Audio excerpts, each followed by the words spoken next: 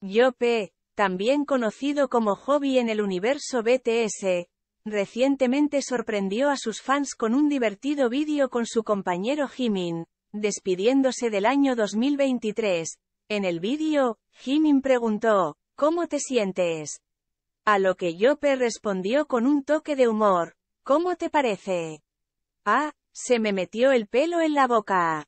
La risa estalla mientras los dos comparten un momento alegre, con Yope expresando en broma los desafíos de que los recortes de cabello terminen en su boca. La diversión continúa mientras Yope se ríe y dice, muy bien, desde aquí, entregámoslo al profesional. Destacando la transición a un peluquero responsable. La publicación adjunta presenta una imagen con la leyenda, Adiós 2023, mientras el icónico cantante se despide del año pasado. Una de las fotos incluye una copia del álbum en solitario de Jimin Face en el que está escrito un dulce mensaje de Jimin para la estrella.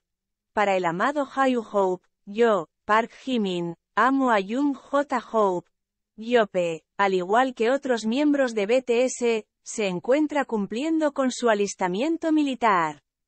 Sus bromas divertidas con Jimin resaltan el amor y la diversión compartidos entre los compañeros de banda e incluso durante el difícil viaje de servir en el ejército.